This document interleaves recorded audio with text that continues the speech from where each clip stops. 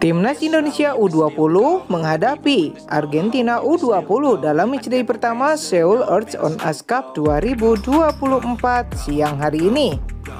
Bertanding di Stadion Korea Selatan, Indonesia sudah tertinggal dengan skor 1-0 di babak pertama ini. Gol tunggal kemenangan dari tim Albi Celeste dicetak oleh Mirko Suarez Jemlik di menit 17 yang sukses membelokkan tendangan dari rekannya dan membobol gawang Ikram Al-Ghifari. Data statistik menyajikan jalannya pertandingan memang didominasi oleh tim Argentina. Namun tim Indonesia bukannya tanpa peluang dalam penguasaan bola. Indonesia juga beberapa kali melancarkan serangan-serangan, salah satunya lewat tendangan bebas dari sang kapten Doni Tri Pamungkas, serta tusukan-tusukan yang dilancarkan oleh Kamara Usmane. Namun, lini pertahanan dari Argentina tampil sangat solid, sementara itu lini serang dari Argentina juga memiliki lebih banyak peluang ya guys.